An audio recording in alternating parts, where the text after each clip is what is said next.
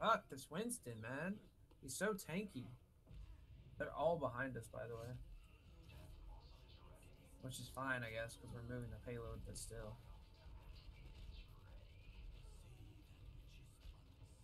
Kind of annoying.